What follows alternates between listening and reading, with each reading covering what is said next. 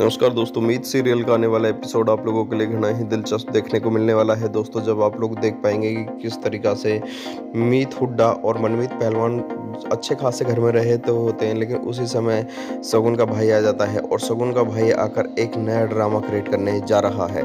बोलता हुआ नज़र आएगा कि, मनमीत, तूने मेरी बहन को धोखा दिया है, तूने मेरी बहन का यूज़ किया है।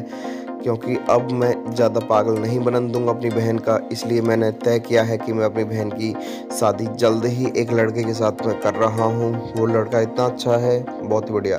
लेकिन दोस्तों, एक खाली एक प्लानिंग थी, क्योंकि दोस्तों, मीत हुड्डा के खिलाफ जब सगुन की खुद की कोई प्लानिंग काम कामयाब नहीं हो पाई, इसलिए सगुन ने अपने भैया को भी इस चीज़ में इन्वॉल्व कर लिया है।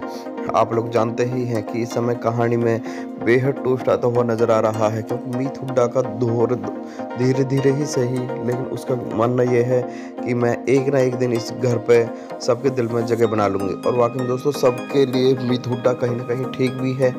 जिन्होंने मीत हुड्डा के साथ में बुरा भी किया है, आज के समय में मीत हुड्डा ने उनके साथ में बुरा नहीं किया है। क्योंकि मीत हुड्डा का मानना यह है कि इंसान की कोई ना कोई मजबूरी होती है। और कहीं ना कहीं बात की जाए, इस समय यशोदा भी फेवर में है, घर के सभी लोग फेवर में हैं।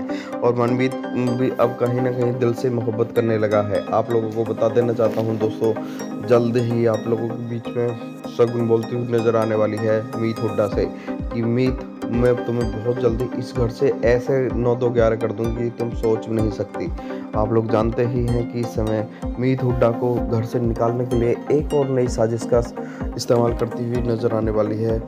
आप लोगों के सामने देखने को मिलेगा। साथ ही दोस्तों, मेरा नाम है रोहित नागर। मेरे यूट्यूब चैनल को सब्सक्राइब करने के बाद में वीडियो को लाइक करें, कमेंट करके ज़रूर बताइएगा, इस कैसे लग रही है मेरी